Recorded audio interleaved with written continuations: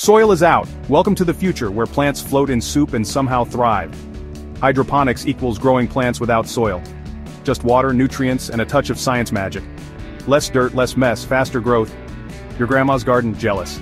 Follow for more hydro hacks, unless you like dirty fingernails. Hydroponics is easy, until you accidentally murder your lettuce. Mistake number 1. Mixing nutrients like it's a smoothie. Mistake number 2. Forgetting to check pH. Plants aren't fans of mystery water. Mistake number 3. Light? You mean your sad desk lamp? Try again. Smash subscribe so your basil doesn't file for plant abuse. Want to grow lettuce but hate pumps, noise, or effort? Kratky says hi?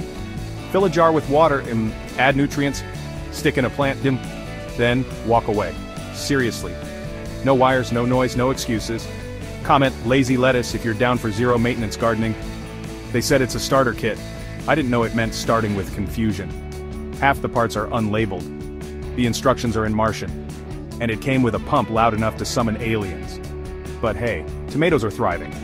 Like this, I test weird hydro kits so you don't have to. It's day 10. One plant is thriving, one looks emotionally unavailable.